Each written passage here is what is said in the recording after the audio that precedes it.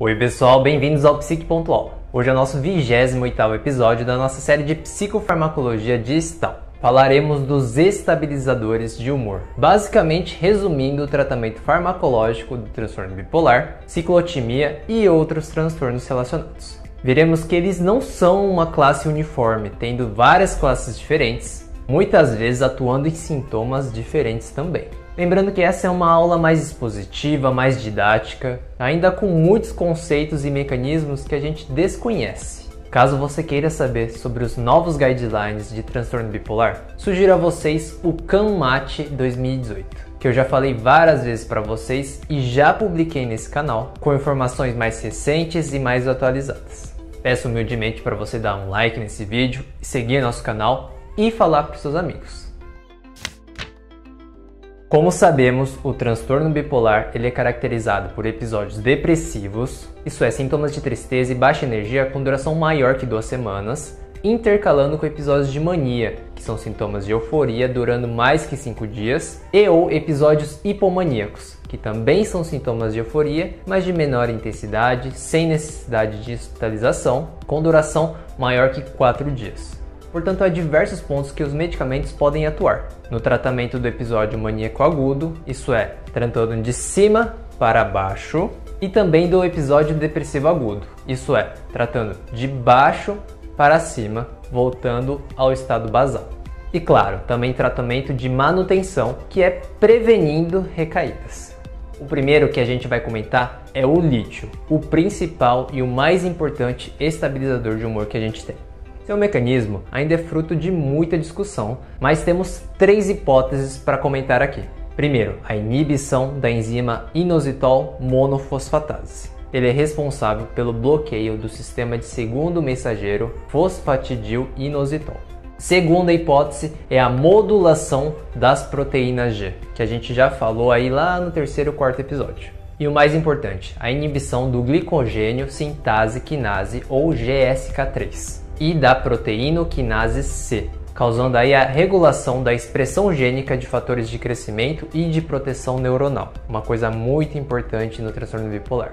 Como já dissemos antes, o lítio ele tem uma indicação principalmente na prevenção e redução de risco de suicídio e é considerado atualmente segunda linha de tratamento adjuntivo da depressão unipolar, que é o do episódio passado. Já na depressão bipolar, ele é primeira linha para mania, depressão, tanto na fase aguda quanto na fase de manutenção. Uma medicação excelente. O Stahl ele diz que o lítio ele vem diminuindo o seu uso, tanto por causa da competição de outros medicamentos no mercado, também devido a efeitos colaterais importantes como tremor, náusea e dispepsia, e também dificuldade de segmento devido aos exames laboratoriais que a gente tem que fazer com essa medicação é necessário verificar a função renal, então creatinina, ureia, devido ao risco de acidose tubular. Função tireoidiana com TSH e T4-LIV por causa do risco de hipotireoidismo. E também devemos verificar a litemia sérica, que é a concentração de lítio no sangue, porque a gente sabe que uma concentração de 0,8 a 1,2 é preditor de boa resposta no tratamento mas em revisões sistemáticas recentes, que eu até publiquei aqui nesse canal, vemos a superioridade do lítio em relação a todos os outros estabilizadores de humor, tanto em monoterapia quanto em combinação. Pode ser que o Stal tenha um certo viés econômico, pois o lítio ele é uma medicação super antiga, tem mais de 50 anos de mercado e não tem nenhuma patente para comercialização. Bom, como a gente já disse, um dos grandes pontos é a atuação do lítio sobre os fatores de crescimento, principalmente aquele BDNF, que é o fator neurotrófico derivado do cérebro. Aparentemente, com o uso do lítio, essa concentração desse fator aumenta durante o tempo. E pensando que o transtorno bipolar tem um curso crônico, essa proteção de plasticidade cerebral do lítio é uma coisa muito, muito importante. Outra possível atuação é na inibição do GSK3, levando à inibição da fosforilação das proteínas Tau relacionadas aí com a doença de Alzheimer. Mas tal afirmação permanece controversa e ainda a gente precisa de vários estudos para comprovar. E nessa imagem a gente vê os esquemas que a gente acabou de explicar. Primeiro, aqui na esquerda, a modulação da proteína G. O lítio se conecta a eles, diminuindo a produção de alguns fatores prejudiciais. Aqui no meio é em relação ao inositol que a gente tem a inibição. E o terceiro é do GSK3, ou também da proteína quinase C, levando ao aumento da ação de neurotrofinas e, por fim, neuroproteção e plasticidade cerebral.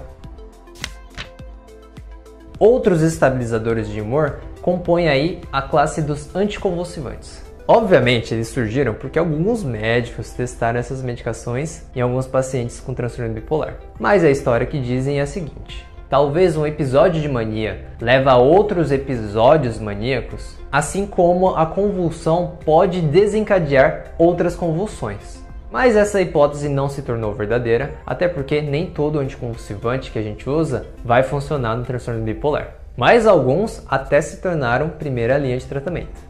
O principal dessa classe é o ácido valproico ou valproato, que é a formulação em sal.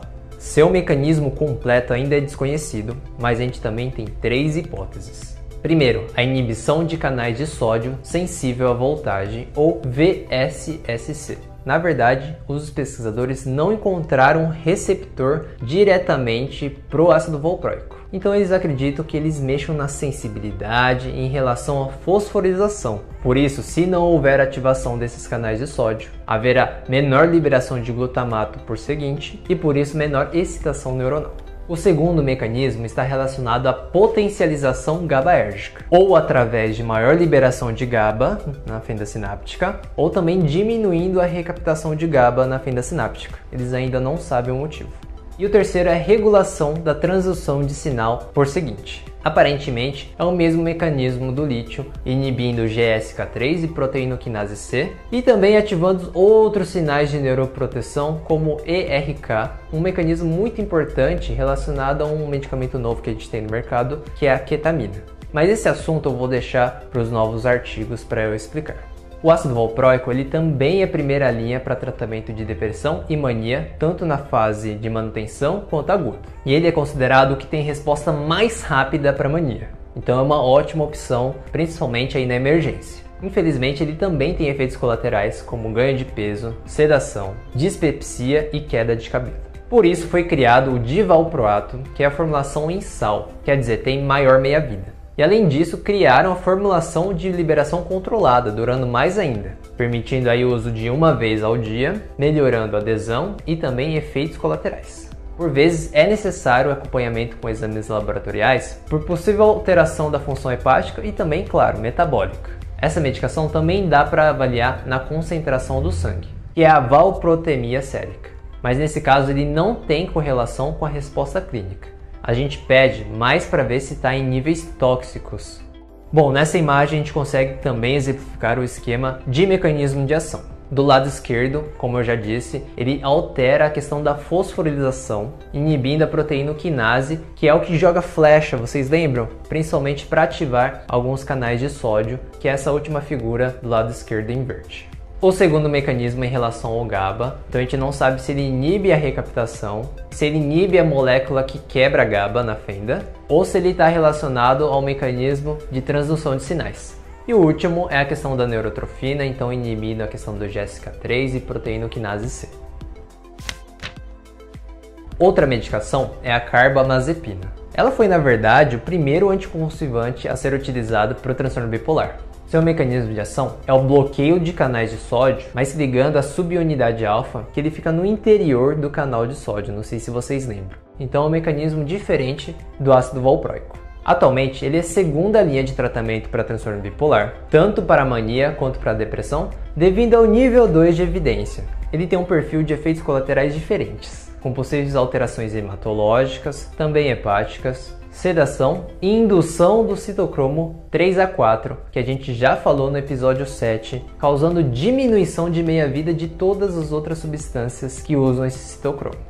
A quarta medicação é a lamotrigina, uma medicação mais recente. Ele, na verdade, tem um histórico muito ruim de estudos, alguns falando que funciona, alguns falando que não funciona. Mas no último guideline de 2018, ela foi incluída para a primeira linha de depressão aguda e manutenção, porém não era recomendada para mania. Eu não estou falando aqui nem que é segunda ou terceira linha, é não recomendada.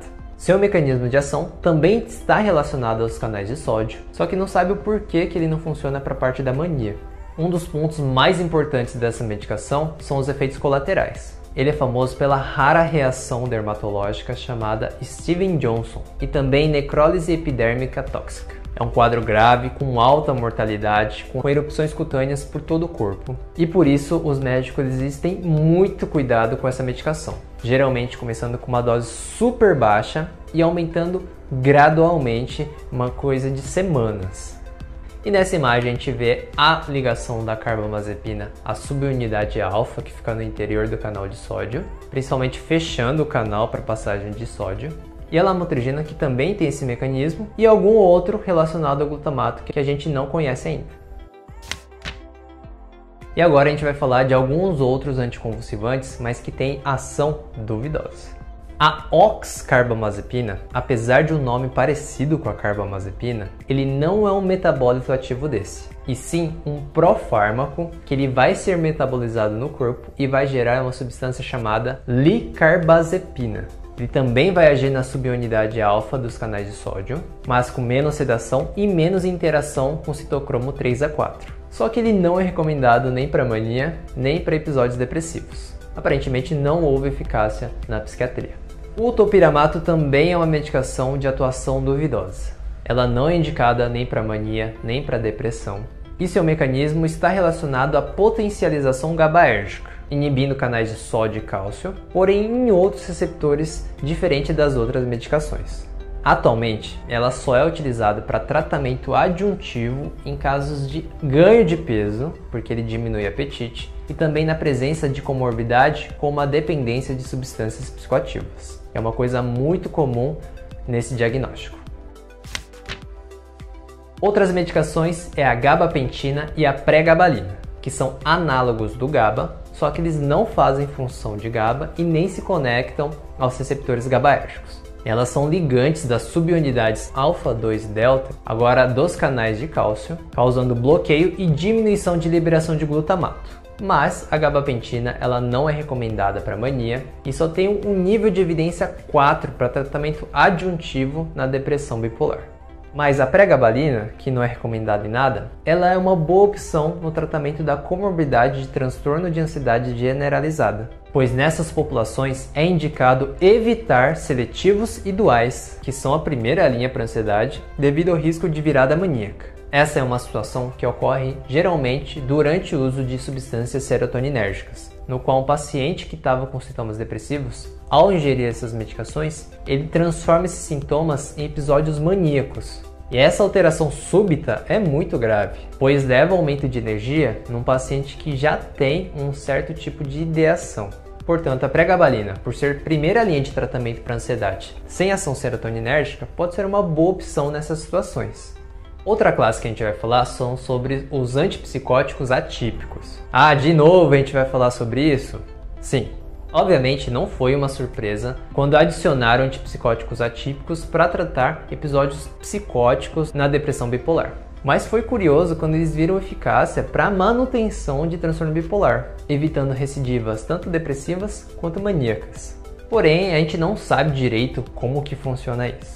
Na mania, eles acreditam que o agonismo parcial, tanto de D2 quanto de 5-HT1A, isso é, regulando o que está muito para cima, mas também o que está muito para baixo, reduzem a atividade glutamatérgica e dos neurônios piramidais. Já na parte depressiva, a gente já comentou bastante, né? Essa ação de antagonismo de 5-HT2A, 2C, 1B, 1D, 3, 7 e também a ação sobre noradrenalina e dopamina, ele tem uma função muito importante. Mas claro, nem todos funcionam dessa forma e nem todos foram escolhidos para tratamento de transtorno bipolar.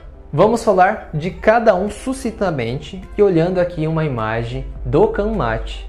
A quetiapina ela é a única primeira linha para depressão bipolar, mania, hipomania, tanto na fase aguda quanto manutenção. A cariprazina ela é nível 1 de evidência tanto para depressão quanto para mania aguda a lorazidona é nível 2 de evidência somente para depressão aguda. A zenapina é primeira linha para mania e nível 2 de evidência para manutenção de mania e depressão. A olanzapina ela é nível 1 de evidência para mania e depressão, só que ela fica como segunda linha devido aos efeitos metabólicos. É também nível 2 de evidência na combinação de fluoxetina e olanzapina, provavelmente pela ação antagonista de 5-HT3. A risperidona e a paliperidona é nível 1 de evidência somente para mania, e o aripiprazol também é só para mania, só que ela não é recomendada para depressão.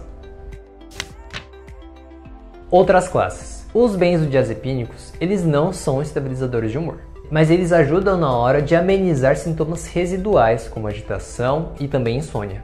Apesar de muita segurança em relação à interação medicamentosa, a gente precisa ter um pouco de cautela, principalmente se esse paciente já é usuário de substâncias e a gente fica preocupado com a dependência de benzo. Outra classe é dos promotores de vigília, o mais famoso, o modafinil, onde houve quatro ensaios clínicos, sendo dois com resultados negativos, um ensaio falhou e o outro deu positivo. Por causa desses resultados mistos, ele foi considerado nível 4 de evidência no tratamento adjuntivo da depressão.